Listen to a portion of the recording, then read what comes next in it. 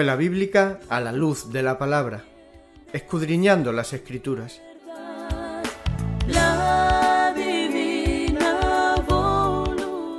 Luz a las Naciones, canal cristiano de comunicación, presenta a la luz de la palabra.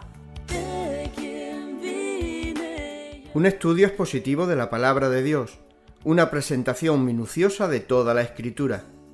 Porque es inspirada por Dios y útil para enseñar, para redarguir, para corregir, para instruir en justicia, a fin de que el hombre de Dios sea perfecto, enteramente preparado para toda buena obra.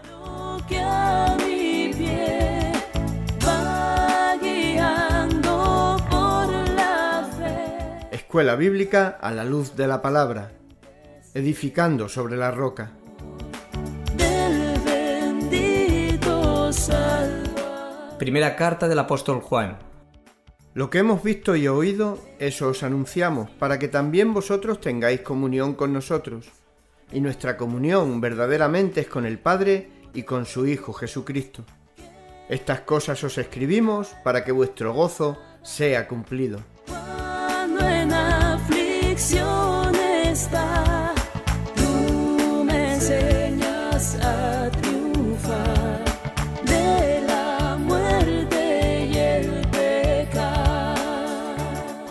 Vamos a seguir con la primera carta de Juan y seguimos en el capítulo número 2, donde hoy nos tocaría pasar a otro pasaje, a otro punto del que venimos exponiendo, y estaríamos a los versículos del 12 al 14. Ya estuvimos hablando precedentemente, exponiendo los versículos anteriores, que era el 7 al 11. Y en el versículo número 12 al 14 entramos en otro, en otro punto. Y primero vamos a leer el pasaje donde nos enseña el apóstol Juan, os escribo a vosotros, hijitos, porque vuestros pecados os han sido perdonados por su nombre. Os escribo a vosotros, padres, porque conocéis al que es desde el principio. Os escribo a vosotros, jóvenes, porque habéis vencido al maligno. Os escribo a vosotros, hijitos, porque habéis conocido al Padre. Os he escrito a vosotros, padres, porque habéis conocido al que es desde el principio. Os he escrito a vosotros, jóvenes, porque sois fuertes y la palabra de Dios permanece en vosotros y habéis vencido al, al maligno. Estamos en un punto que yo creo que es importante porque es como que Juan viene confrontando nuestra vida cristiana entre lo que había dentro en sus días de falsas doctrinas y falsos maestros, específicamente o de una manera primaria con los gnósticos. Pero Juan viene en una manera eh, hablando tan directamente a la iglesia de Cristo que es como que encontramos aquí a Juan buscando un paréntesis o una digresión, ¿no? Es como una parada y Juan como que retoma y entiende que hay que dar un alivio a la iglesia. A veces ese ánimo que la iglesia necesita o que necesitamos, sin duda alguna, tiene que provenir de la palabra de Dios. Los ánimos que podamos darnos entre nosotros no son ánimos que Dios ha constituido en su palabra, no son ánimos que, que en verdad podamos eh, descansar o fiarnos o aceptarlo, si no es algo procedente de la palabra de Dios. Pero me llama la atención leyendo y releyendo este pasaje que Juan está aquí animando a los cristianos, por eso digo, es un, es un pasaje donde deberíamos de encontrar refrigerio cada uno de nosotros, pero Juan lo hace como, como debe de hacerse, a través de las mismas escrituras. Y el punto en el que Juan está aquí usando es un punto muy importante, pero creo que es importante también aclarar lo que nos encontramos aquí. Aquí nos encontramos con, en el versículo número 12, con hijitos, en el versículo número 13, con padres, en el versículo número 13 también con jóvenes. Juan no está aquí hablando de un parentesco, Yo creo que esto también necesitamos verlo como en verdad nos está enseñando la palabra de Dios. No está hablando de una edad cronológica tampoco. Lo que Juan nos está enseñando, y esto creo que es algo que debe de ayudarnos a exponer el texto, o asimilarlo, a entenderlo, es que aquí los hijitos tienen que ver con todos los cristianos. Aquí hijitos no tiene que ver con un niño pequeño. Es una palabra que caracteriza mucho a Juan, porque en el griego nos está hablando de un infante o de un niño en Cristo. Pero algo curioso que tenemos que, que poder ver lo que nos está enseñando aquí Juan es que aquí los hijitos son todos los cristianos. O sea, todos los que hemos nacido de nuevo, es lo que aquí tenemos que entender que se nos está diciendo, hijitos, a nosotros. También nos está hablando de jóvenes, y jóvenes aquí no tiene que ver con una edad en sí, sino que tiene que ver con alguien quien está madurando en la fe. Son jóvenes en la fe. Hay un desarrollo, hay un crecimiento y está madurando en la fe cristiana.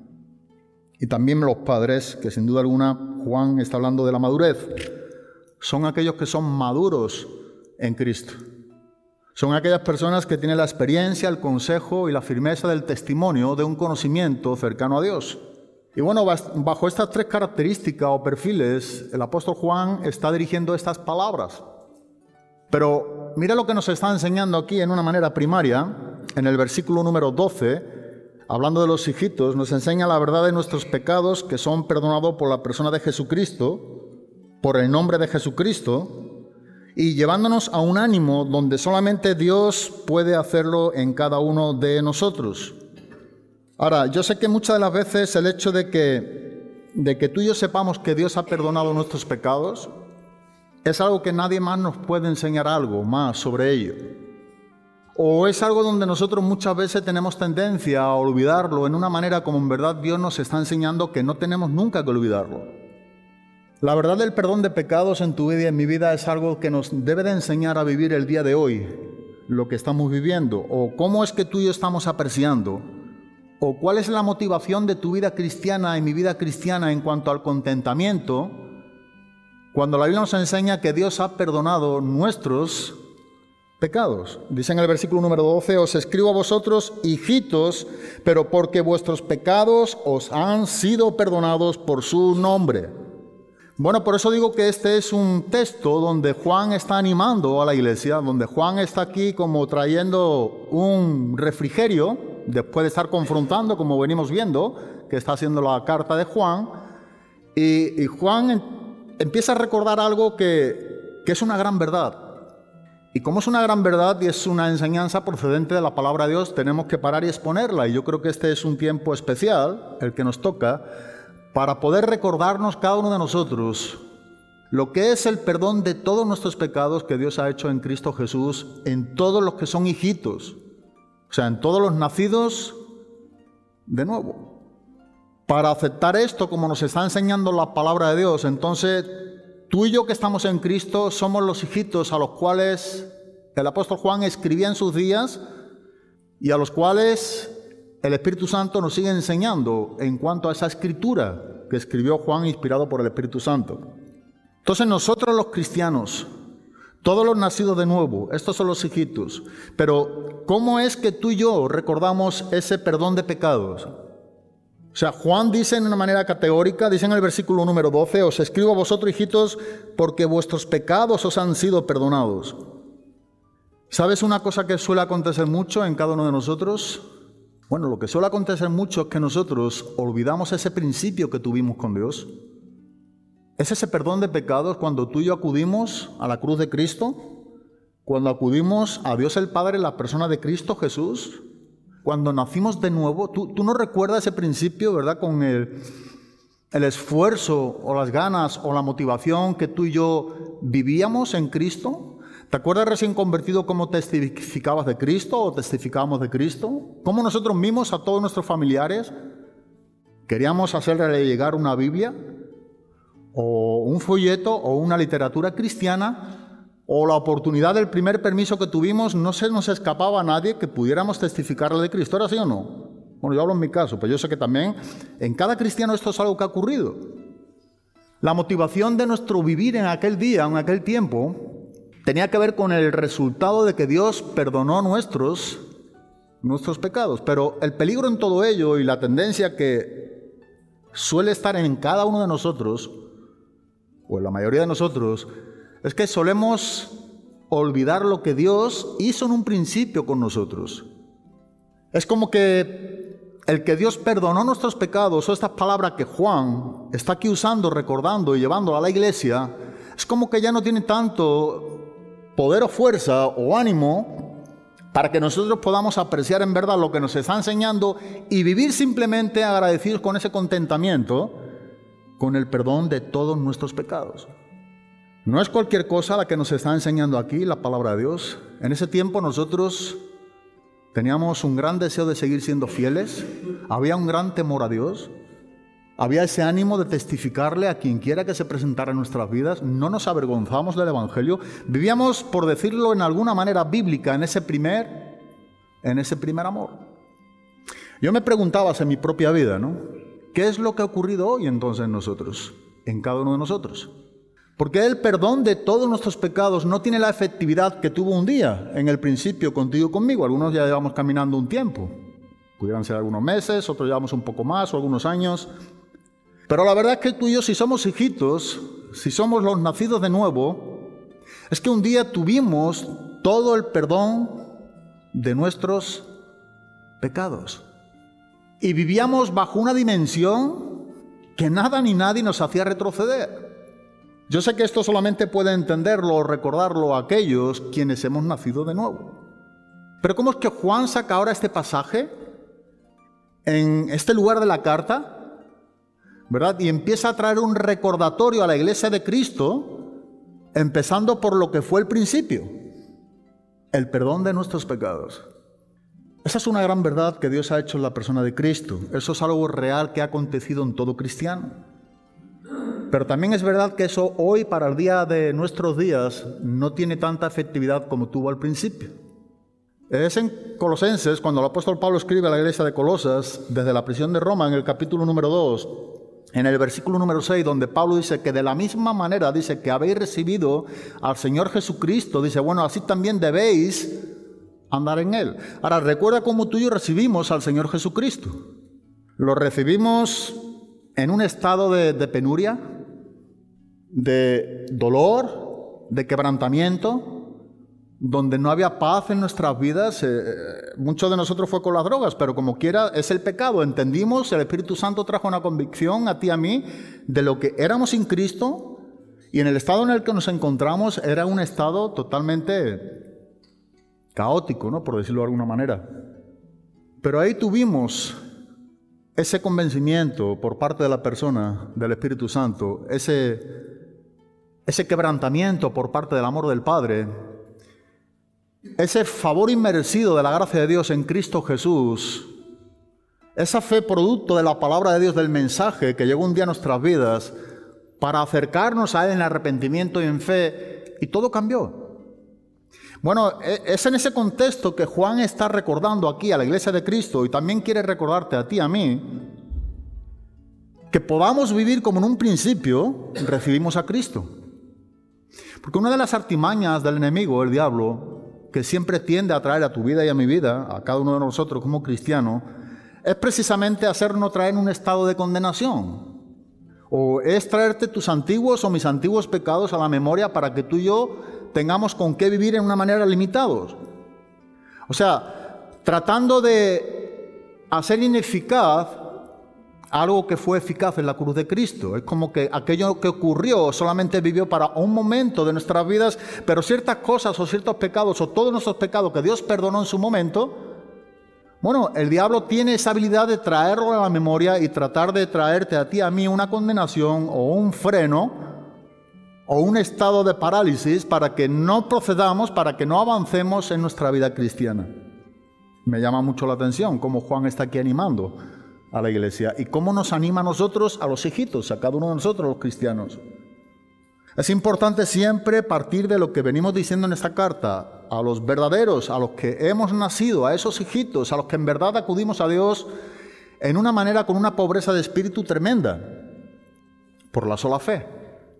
Bueno, Juan quiere que tú y yo vivamos en esa manera, cuanto menos Él está recordándonos a cada uno de nosotros lo que Cristo hizo un día, sigue teniendo efectividad para con nosotros.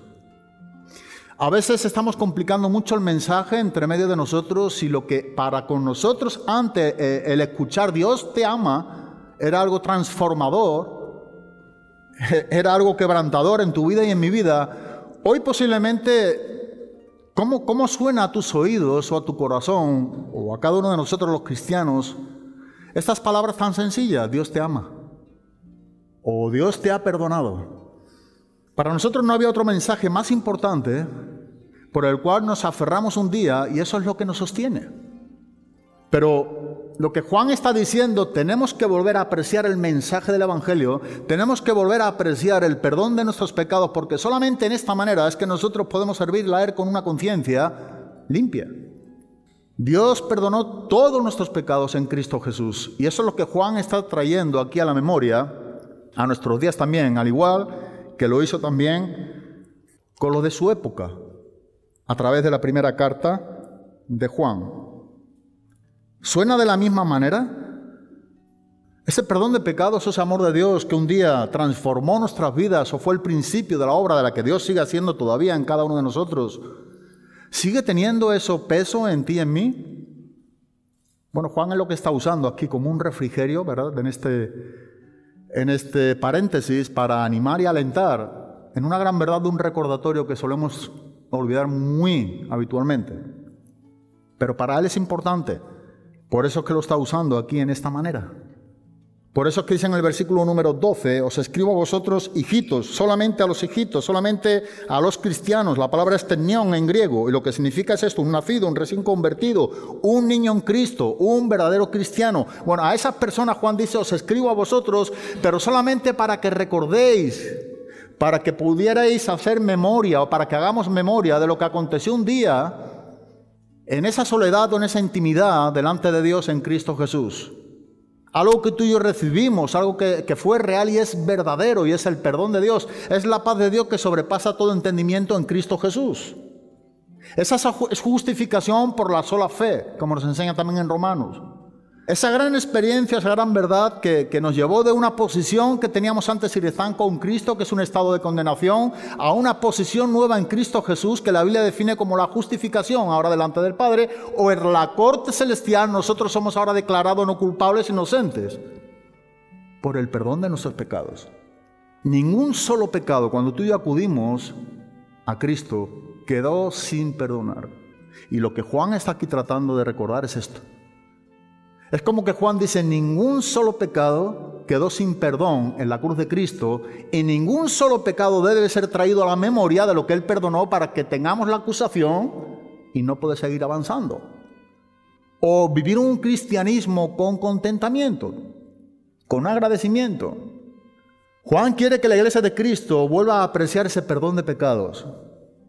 Volvamos a apreciar ese mensaje de que sencillamente tres palabras, Dios te ama o Dios te perdonó. ¿Cómo suenan nuestros días? Yo pensaba, ¿cómo es que yo aprecio estas palabras al día de hoy para con mi propia vida? Dios quiere que pensemos en ello, que entendamos lo que Él hizo por nosotros. Sabes, mira, solamente, y, y, yo creo que es muy importante, porque a menos que tú y yo entendamos lo que es el pecado, nunca apreciaremos lo que es el perdón. Jamás. Solamente nosotros podemos apreciar el perdón de todos nuestros pecados cuando nosotros sepamos en verdad contra quién hemos pecado. No nos está hablando del pecado entre hombres o la falta que hayamos tenido entre nosotros. Lo que la Biblia nos está enseñando es que hemos pecado contra Dios. El pecado, la palabra jamartía, en el griego lo que significa es haber errado en el blanco, haber fallado el propósito de Dios, haber transgredido o violado el decálogo que eran los diez mandamientos dado a Moisés en el monte Sinai. Pero lo que nos está enseñando la palabra de Dios en cuanto a, la palabra pecado es que si tú y yo no tenemos conciencia de lo que es el pecado, si no, si no sabemos seguir apreciando lo que nos enseña la vida con respecto al pecado, el pecado ha sido directamente contra Dios y eso es algo que reconoció el rey David en el Salmo 51. El salmista en el Salmo 51, cuando pecó con Dios por medio del adulterio con Bexabé, a través de mentira, con el asesinato de Urias el Eteo, quien era parte del ejército de David, manipulando las situaciones para ponerlo al frente, para no saber que Bexabe estaba embarazada, que había adulterado. Todo ese tipo de manipulaciones, cuando David tiene ese salmo, ese salmo 51 escrito por él mismo de penitencia, de arrepentimiento, lo que nos está enseñando, lo que está reconociendo en el versículo número 4 es que dice, contra ti, contra ti solo he pecado, he hecho lo malo delante de tus ojos. Bueno, el pecado es contra Dios. Hemos transgredido su ley. Hemos violado su palabra. Y esto debe ser algo bien entendido y debemos de saber bien su significado porque no estamos hablando aquí de los hombres, estamos hablando de que el hombre pecó contra quién? Contra Dios. Y si tú y yo no entendemos la consecuencia del pecado y la gravedad del pecado, nunca jamás vamos a estar apreciando el perdón de nuestros de nuestros pecados. Solamente entendiendo lo que es el pecado, nosotros apreciaremos lo que es el perdón de nuestros pecados. La misma cosa encontramos en Lucas, en el capítulo número 15, cuando el hijo pródigo. ¿Recordamos un poco la historia? Dice que volviendo en sí, cuando el hijo pródigo vuelve en sí, hay algo que también define muy claramente contra quién había pecado. Es pecado contra el cielo y contra quién? Contra ti. El pecado es contra Dios. El pecado ha sido contra Dios y la gravedad de nuestro pecado debe de producir en ti y en mí el apreciamiento del perdón del mismo. El poder apreciar con todos nuestros corazones cómo Dios nos ha perdonado. ¿Y por qué Juan recuerda esto aquí? Porque Juan entra eh, en esta dimensión. Cuando Juan viene hemos visto como una ametralladora, ¿verdad? Juan viene disparando, pero de golpe él entiende que esto es algo necesario entre medio de nosotros, el aliento, la exhortación de ánimo y el refrigerio por parte de la propia palabra para la iglesia. Y es la palabra de Dios, y es Juan usando las escrituras la que trae este aliento a tu vida y a mi vida para que nosotros podamos retomar un refrigerio y seguir continuando con el estudio de la misma, la exposición de Juan, de esta primera carta. Y a lo personal estoy muy agradecido de este pasaje. Porque a mí primeramente lo que me está enseñando es que yo tengo la tendencia de olvidar todo lo que Dios me ha perdonado. O a no estar apreciando, como Dios quiere que tú y yo apreciemos, el perdón de todos nuestros pecados. Somos hijitos. Somos nacidos de nuevo. Quienes estamos en Cristo.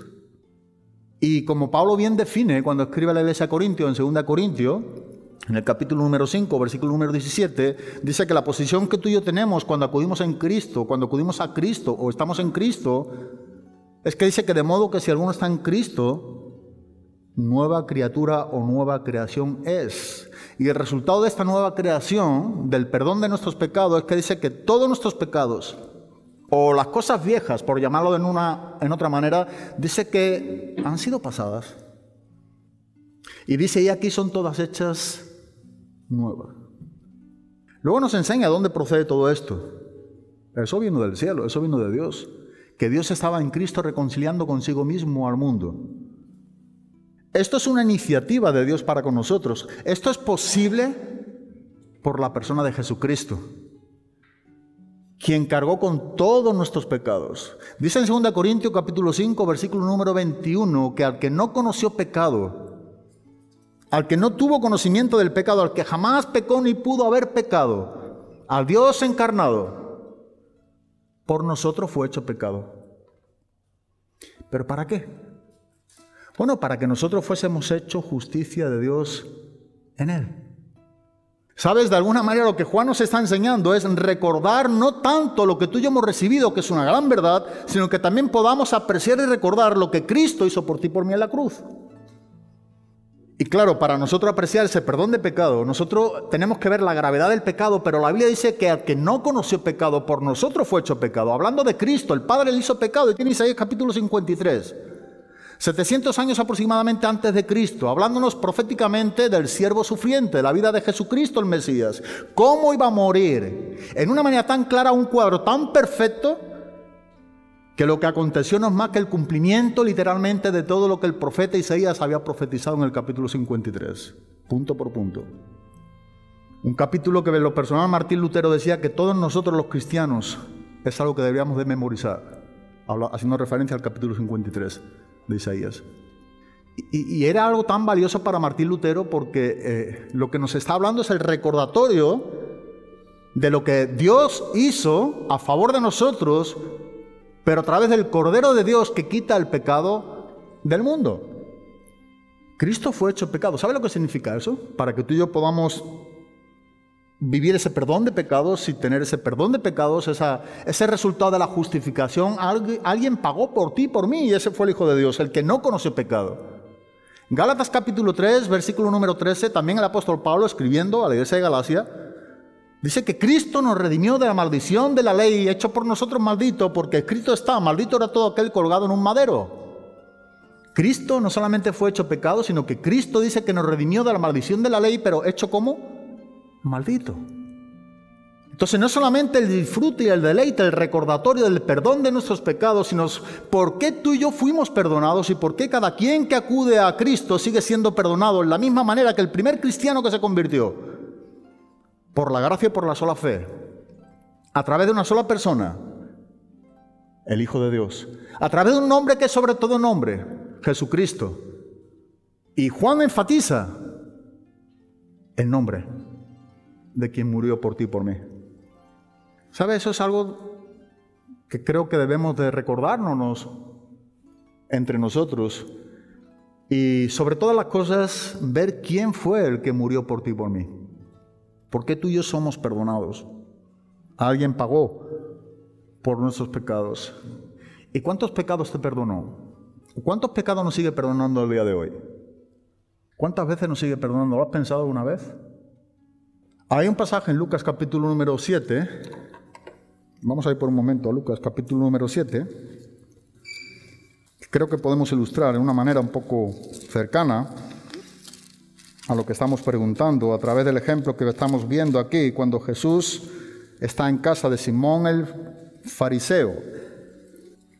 Lucas capítulo número 7 Aquí sabemos todo, había una mujer de mala vida, entró en casa de Simón, el fariseo, hay un acontecimiento, algo que está haciendo que él no hizo, pero dice en el versículo número 40, entonces respondiendo Jesús le dijo, Simón, una cosa tengo que decirte. Y él le dijo, dime, o di maestro.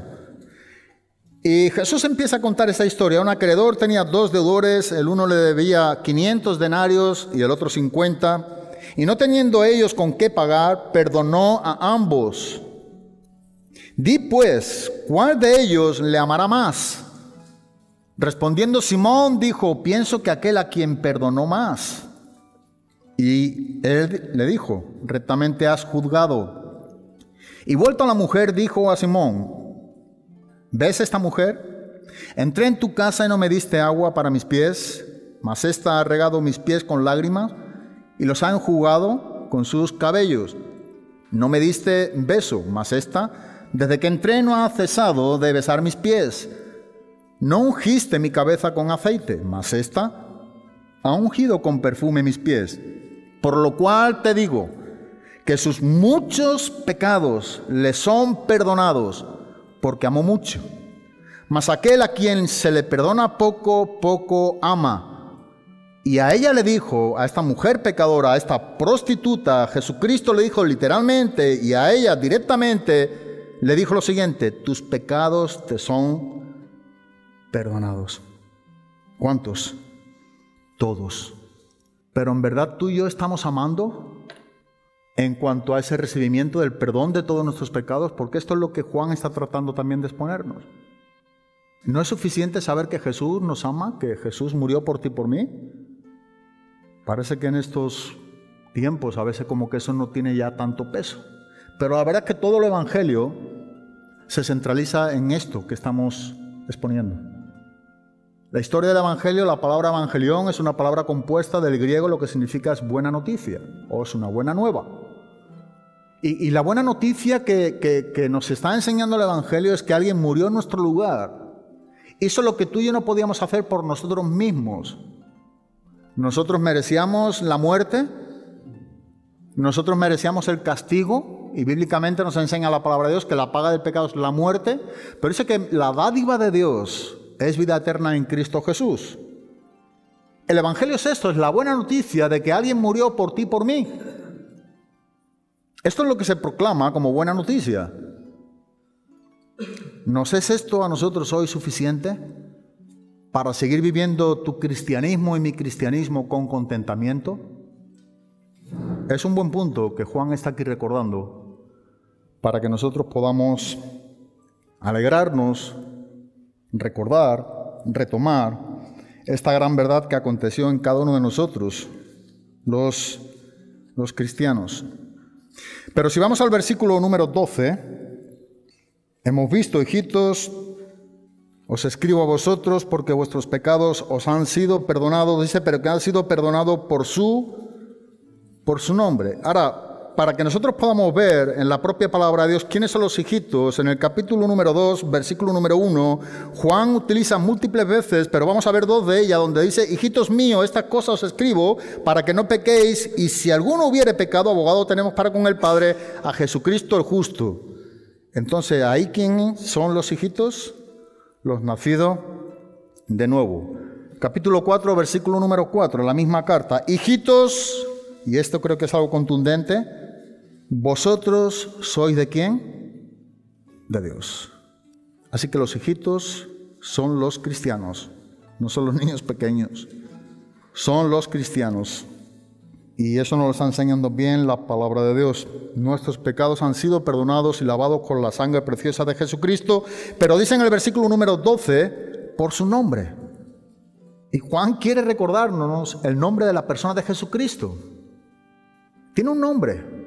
En el libro de los Hechos, capítulo número 4, versículo número 10, libro de los Hechos, capítulo 4, versículo número 10, dice aquí Lucas, sea notorio a todos vosotros y a todo el pueblo de Israel que en el nombre de quién?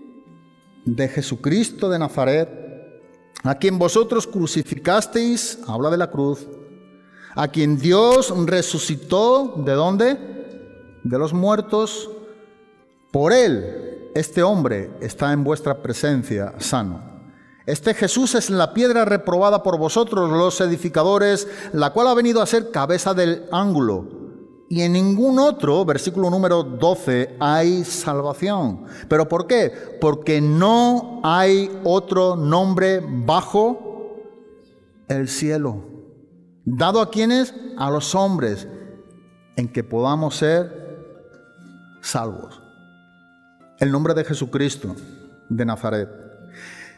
Lucas relata aquí la historia de la crucifixión de Cristo, relata la resurrección de Cristo, y si nosotros fuéramos a Romanos capítulo número 4, es lo que Pablo dice, que Cristo murió por nuestros pecados y que resucitó para nuestra justificación. La muerte de Cristo no fue suficiente para que tú y yo seamos justificados delante de Dios. Cristo murió por nuestros pecados. Pero dice que resucitó para nuestra justificación. Si Cristo no hubiese resucitado al tercer día de entre los muertos, ningún ser humano podríamos haber sido salvo. Entonces, Pablo define muy específicamente lo que es la crucifixión de Cristo, el relato de la soteriología o la salvación.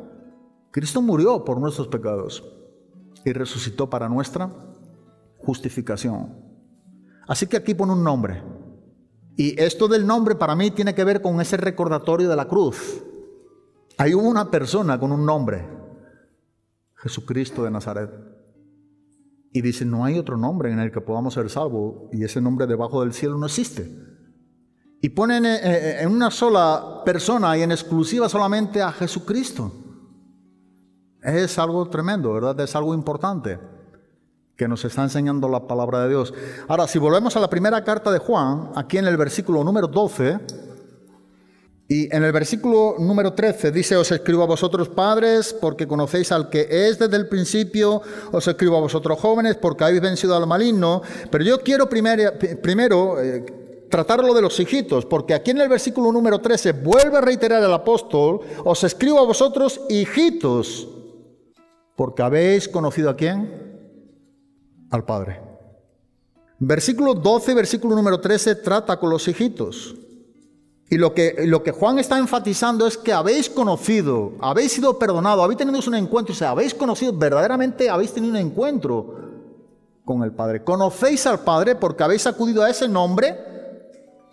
Habéis acudido a la cruz donde murió una persona en vuestro lugar, en nuestro lugar, llamado Jesucristo. Y es por eso que nos está enseñando aquí en el versículo número 13 que habéis conocido al Padre, porque nadie puede conocer al Padre si no es a través de quién? De Cristo. Pero mira lo que nos está enseñando. Habéis conocido al Padre. Sois hijitos, sois verdaderos, vuestros pecados han sido perdonados por su nombre.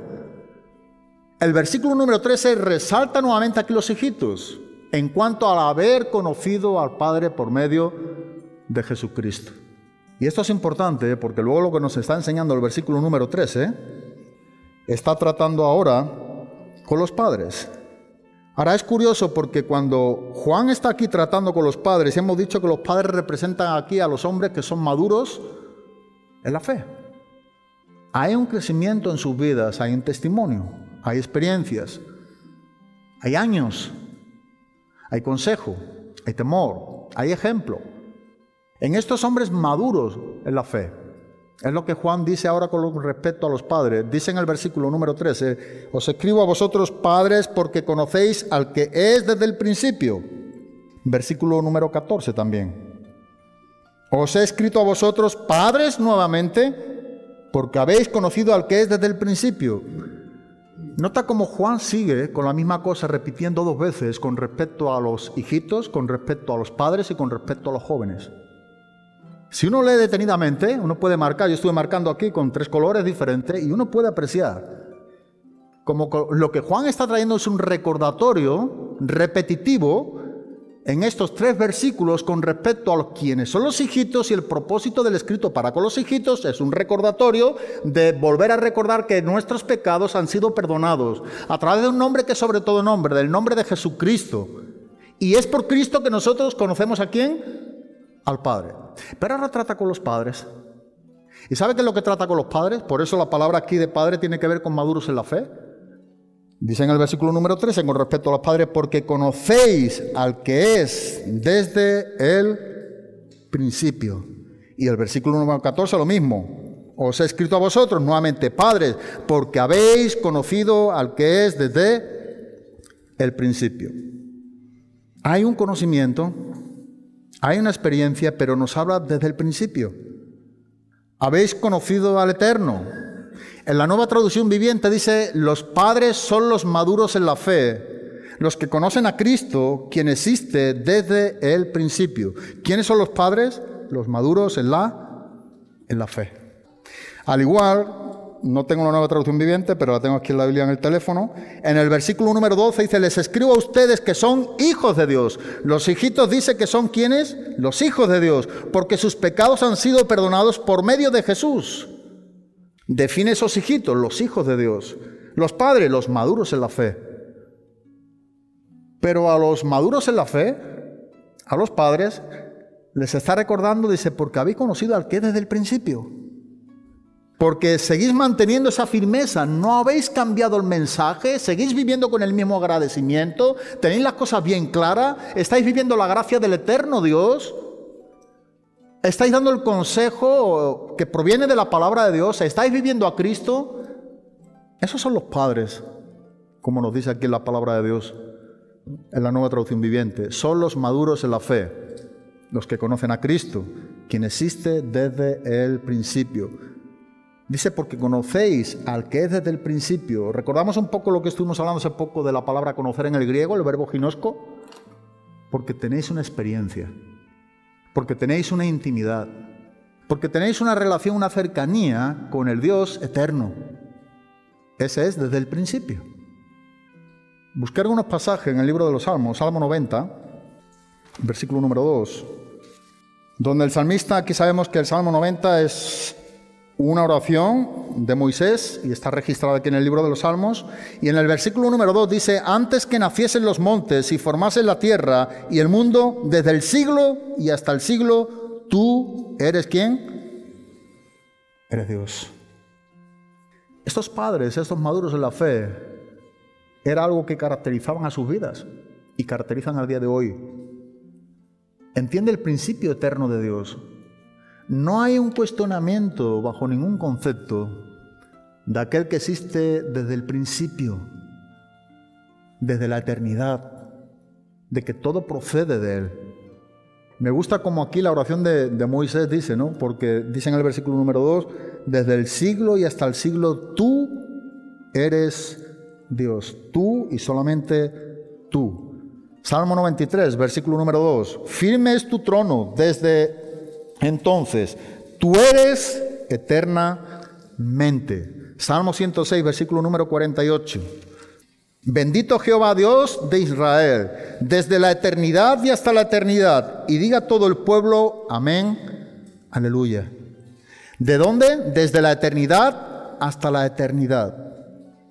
Si fuéramos al Nuevo Testamento, solamente Timoteo, hay muchos pasajes que pudiéramos ver, pero primera Timoteo nada más, dos versículos más, para poder apreciar un poco más este principio de los padres, de quienes hemos conocido o han conocido desde el principio, al que es desde el principio, mejor dicho, dice la primera carta del apóstol Pablo a Timoteo, capítulo número 1, versículo número 17, por tanto, al Rey de los siglos, inmortal, invisible, al único y sabio Dios, sea honor y gloria por los siglos de los siglos.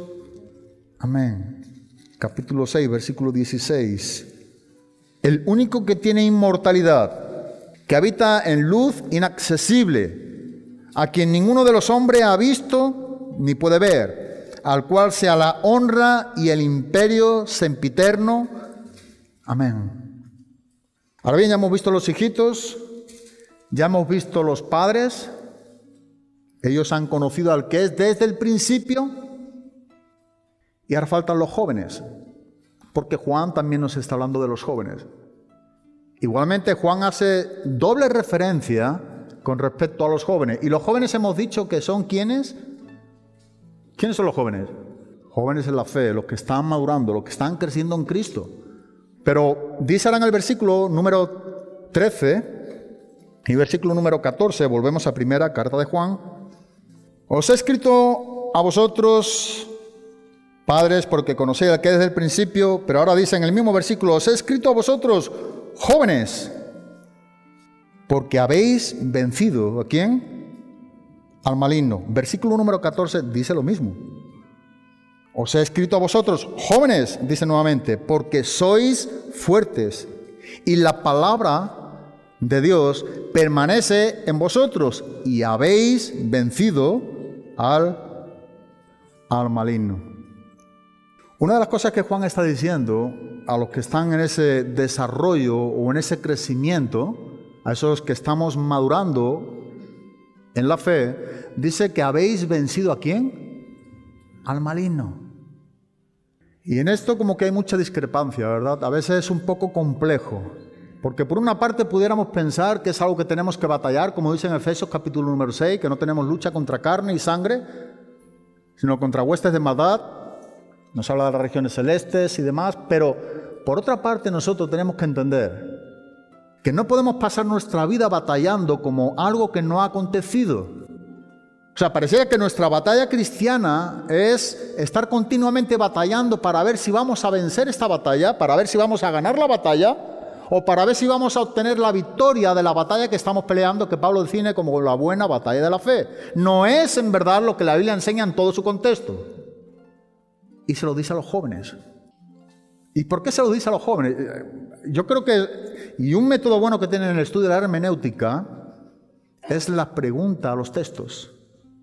Es preguntarle a la propia palabra y la palabra nos responde. Cada vez que tú y yo leemos un pasaje y queremos una buena interpretación y sacar la exégesis de la misma, tú y yo tenemos que continuamente estar preguntando al mismo texto y el texto nos contestará. Veces la respuesta, como decía Martin Long Jones, está en el siguiente versículo. Por eso es importante siempre leer todo el contexto, es importante saber estudiar la Biblia, es importante tener hambre de la Biblia, por supuesto, pero debemos de estar continuamente haciéndole preguntas al texto. Y el texto nos responde, porque la palabra debe de interpretar a la, a la palabra. No es tu interpretación, no es mi interpretación, la Biblia no está escrita para interpretarla personalmente, como dice el apóstol Pedro. Ninguna de las profecías de interpretación privada, sino que los santos hombres de Dios sé que escribieron siendo inspirados, para que tú y yo podamos entender bajo la dirección del Espíritu Santo, la tercera persona de la Trinidad, lo que en sí nos enseña el texto. Recuerda, siempre tiene una sola interpretación. Cualquier pasaje, cualquier punto de la Biblia, siempre tiene una sola interpretación. Jamás, nunca podemos interpretar de dos maneras diferentes la Biblia o el pasaje. Nunca. Ahora tiene muchas aplicaciones. Una cosa es la interpretación bíblica, otra cosa es la aplicación bíblica. Y si tú y yo no entendemos eso, eh, muchas veces podemos estar errando y metiendo la pata por no saber diferenciar esto. Nunca Dios ha hablado con dos sentidos. A eso se le llama aplicación bíblica. Cuando nosotros hacemos la interpretación y aplicamos dependiendo en cómo tú y yo estamos viviendo, no siempre la aplicación que nosotros queremos dar con respecto a la palabra es aplicable a la persona de lo que está viviendo. Pero la interpretación es una sola, siempre. Cualquier lugar de las escrituras, cualquier pasaje, tiene una sola interpretación. Ahora bien, tiene muchas aplicaciones. Pero si se lo dice a los jóvenes y lo que les está enseñando a los jóvenes, yo lo, yo lo veía en esta manera, es que está dándonos, eh, digamos, la garantía de que estamos batallando la buena batalla de la fe, que es una gran realidad, pero que no tenemos que perder de vista que también estamos peleando la batalla de la fe en una manera donde ya ha sido ganada. Ya el enemigo dice que ha sido como vencido. Y si tú y yo no entendemos esto, vamos a estar viviendo nuestro cristianismo aplastado, confundido, pensando que lo que tenemos que seguir es batallando sobre algo que ya ha acontecido en una victoria que se llama la cruz del Calvario. Y no te lo digo yo, lo dice la Biblia. Colosenses capítulo número 2, versículo número 15. Y despojando a los principados y a las potestades, los exhibió públicamente, triunfando sobre ellos. ¿En dónde? En la cruz. En la cruz. Sabes que cuando Cristo muere en la cruz, se está cumpliendo la primera promesa mesiánica. ¿Sabe cuál es la primera promesa mesiánica? Génesis capítulo 3, versículo número 15. Cuando Adán y Eva peca, hay una promesa en cuanto al Mesías. Y pondré enemistad entre ti y la mujer, entre tu simiente y la simiente suya, hasta te herirá la cabeza y tú le dirás en dónde? En el calcañar. Esa promesa tiene que ver con el cumplimiento del tiempo, Gálatas capítulo 4, versículo número 4, en el tiempo específico de Dios. Acontece lo que aconteció en la cruz, Así que cuando Cristo muere en la cruz, ¿qué es lo que está aplastando? ¿La cabeza de quién? Del diablo. ¿Y qué es lo que el diablo está haciendo a Jesucristo? Dañando el calcañar. Pero ese es el cumplimiento de una promesa mesiánica. Y lo que nos está enseñando aquí con respecto a los que están madurando, a los que están en esa trayectoria, a esos jóvenes, como enseña aquí la palabra de Dios, es que recuerden que por la palabra, por eso, por eso vincula la palabra con la derrota del enemigo. Porque es algo que tenemos que seguir creyendo, es algo que tenemos que seguir afirmando, como la propia palabra nos la está enseñando. Primera carta de Juan, capítulo 3, versículo número 8. El mismo apóstol Juan hace esta, o este recordatorio, esta claridad. Dice que el que practica el pecado es del diablo porque el diablo peca desde el principio, pero para esto apareció el Hijo de Dios, para deshacer las obras de quién? Para deshacer las obras del diablo. Fue Jesucristo mismo, recuerdan, Juan capítulo 16, versículo número 33, quien dijo, hablando en cuanto a la confianza, que en el mundo teníamos muchas aflicciones, pero también dijo, confiad en mí porque yo he vencido al mundo, al sistema que está en contra de Dios. Estas cosas o estas palabras os digo para que en mí, dijo Jesucristo, tengáis paz. En el mundo tendréis muchas aflicciones, pero confiad, dice, porque yo he vencido al mundo. Romanos capítulo 8, versículo número 38. Por lo cual estoy seguro de que ni la muerte, ni la vida, ni ángeles, ni principado, ni potestad, ni lo presente, ni lo porvenir, ni lo alto, ni lo profundo, ni ninguna otra cosa creada nos podrá separar del amor de Dios que es en Cristo Jesús, Señor, Señor nuestro. Pero ¿qué dice? ¿Dónde? ¿Por qué es todo esto? Mira que dice el versículo 1.37. Antes, en todas estas cosas de las que viene diciendo, somos más que vencedores, pero por medio de aquel que nos amó. Lo que Juan dice a estos jóvenes tienen que tener bien claro que por la palabra, que por la credibilidad del mensaje, ellos habían vencido a quién? Al maligno. En alguna manera, yo sé que esto es un poco complejo, en alguna manera tenemos una lucha con, no tenemos lucha contra carne y sangre. Estamos peleando la buena batalla de la fe. Pero hay algo importante que tú y yo tenemos que entender y es que tu peor y mi peor enemigo va dentro de ti y dentro de mí. Y lo que nosotros llamamos enemigo, muchas de las veces tenemos que saber que nuestro enemigo ha sido vencido en la cruz del Calvario. El enemigo usa sus estrategias, ¿verdad? Él trae eso que aquello, sabe, aquello que sabe que a ti a mí nos gusta, que somos débiles. Él presenta el panorama, viene lo que son las tentaciones, pero luego tú y yo tenemos la responsabilidad de entrar o no entrar en la tentación. Así que en definitiva, el peor enemigo que tú y yo pudiéramos tener, lo llevamos con nosotros mismos. Porque nadie te está obligando, ni a mí tampoco, a sucumbir o a ceder a entrar en la tentación. Por eso dice que los jóvenes es por la palabra. Por eso cuando tú y yo estamos firmes en la palabra, cuando tú y yo estamos viviendo a Cristo a través de la propia palabra de Dios, cuando tú y yo estamos estudiando, apreciando, conociendo a Dios por la Biblia, cuando tú y yo estamos meditando en la palabra, cuando tú y yo estamos practicando la palabra, es que tú y yo podemos apreciar este panorama de la guerra o la batalla espiritual en su verdadera dimensión. Y no como el mismo diablo nos distorsiona. Es a los jóvenes. Pero la primera carta de Juan, capítulo 5, versículo número 3, también nos lo dice muy claramente aquí el apóstol Juan. Primera de Juan, capítulo 5, versículo número 3, pues este es el amor a Dios que guardemos sus mandamientos y sus mandamientos no son gravosos, versículo número 4, porque todo lo que es nacido de Dios vence a quién? Al mundo. Y esta es la victoria que ha vencido al mundo, nuestra fe. Versículo número 5, ¿quién es el que vence al mundo sino el que cree que Jesús es el Hijo de Dios? Por la fe es que nosotros somos vencedores. Por la unión con Cristo es que tú y yo disfrutamos de esa victoria. Y claro que estamos peleando esa batalla.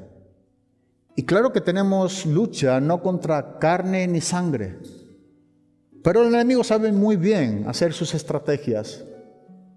La Biblia nos enseña que no ignoremos sus maquinaciones, no seamos ignorantes a sus estrategias. ¿Sabe qué es lo que significa la palabra estrategias o estrategia? Es un plan. Nada viene sorprendiéndonos, ¿verdad? No, el diablo se toma su tiempo para presentarte un plan para que tú y yo caigamos. Por eso son estrategias. Se usa mucho en el lenguaje de las guerras. ¿verdad? Vamos a hacer una estrategia. Eso tiene un determinado tiempo. Eso tiene muchos matices y puntos muy ajustados para llevar a cabo un plan, lo cual significa que Él tiene sus planes para que tú y yo caigamos. Pero si tú y yo vivimos en Cristo. Si tú y yo vivimos la palabra de, Dios, si tú y yo estamos viviendo y batallando esa buena batalla de la fe, sabiendo perfectamente que de alguna manera la batalla ha sido ya ganada por Jesucristo, porque Él pisó la cabeza del diablo, pero que en otra dimensión tú y yo estamos viviendo, como dice aquí a los jóvenes, venciendo al enemigo, pero también peleando por la fe esta buena batalla, de la cual Pablo dice que estaba acabando esa carrera. Si tú y yo nos separamos de lo que en verdad nos enseña la Biblia, del fin de esa batalla, que ya es algo declarado por la palabra, entonces viviremos bajo las amenazas de esa batalla. Viviremos siempre en la retaguardia, amenazados, con miedos, con temores. Y Juan nos enseña no es lo que Dios ha hecho para con nosotros. No es lo que Dios quiere para contigo, para conmigo. No debemos vivir, ¿verdad?, nuestros lamentos del pasado sin nuestro perdón del presente. Nosotros no tenemos que estar viviendo lamentándonos de lo que ocurrió en el pasado, sino tenemos que estar viviendo el perdón del presente, que Dios sigue perdonándonos, aun cuando nosotros pudiéramos caer en pecado hoy, o aun cuando hemos pecado, o aun cuando pecásemos. La Biblia enseña que abogado tenemos para con quién? Para con el Padre. ¿Es algo que tú y yo planeamos o manipulamos? No, eso no lo hace un verdadero cristiano. Pero lo que sí es verdad que por no perder la condición de hijo, en cuanto al Padre. Por eso acudimos al Padre si pecamos. Nos está enseñando que Dios sigue perdonándonos. El perdón de tus pecados y mis pecados es algo que tenemos que tener presente. Cristo no solamente murió por ti, sino que Cristo sigue intercediendo perpetuamente por ti. ¿Sabe que Cristo sigue orando por nosotros a la diestra del Padre? Y eso nos enseña el libro de Hebreos capítulo 7, versículo número 25. Vive siempre para interceder perpetuamente. ¿Sabe lo que es la palabra interceder ahí? Él sigue intercediendo por nosotros. No solamente murió por nosotros, si no Él está a la diestra del Padre como el Cristo glorificado, intercediendo por los hijitos, por los cristianos, por los hijos de Dios. No debemos vivir, como hemos dicho, los lamentos del pasado, sino en el perdón del presente, en lo que hoy Dios nos sigue perdonando. En lo que nos perdonó, no podemos estar lamentándonos. Dios nos perdonó. Y en el presente nos sigue perdonando. Bueno, ahí hemos estudiado, ¿verdad? Hay que confesar, claro que hay que confesar. Y hay que apartarse. ¿Para alcanzar qué? Misericordia. Pero en alguna manera, y el tiempo se nos ha acabado rápidamente, es lo que Juan está hablando aquí en cuanto a los hijitos, todos los cristianos. En cuanto a los padres, a los maduros en la fe. En cuanto a los jóvenes, a los jóvenes en la fe, a los que están madurando. Es lo que el apóstol Juan nos enseña en estos versículos. Si tomamos lectura, lo dejamos aquí, donde nos está enseñando, os escribo a vosotros, hijitos, porque vuestros pecados os han sido perdonados por su nombre. Os escribo a vosotros, padres, porque conocéis al que es desde el principio. Os escribo a vosotros, jóvenes, porque habéis vencido al maligno. Os escribo a vosotros, hijitos, porque habéis conocido al Padre. Os he escrito a vosotros, padres, porque habéis conocido al que es desde el principio. Os he escrito a vosotros jóvenes porque sois fuertes y la palabra de Dios permanece en vosotros y habéis vencido al, al maligno. Amén. Gracias y que Dios os bendiga.